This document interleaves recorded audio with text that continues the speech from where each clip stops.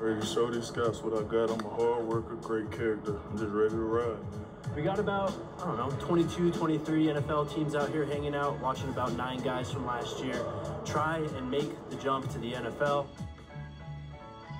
We're watching uh, these seniors perform in front of NFL scouts for their pro day.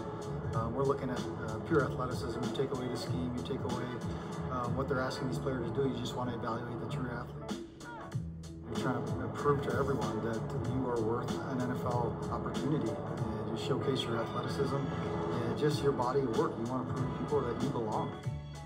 It's special up here right now, and just watching these guys work out, trying to get their chance, trying to make some money for the families.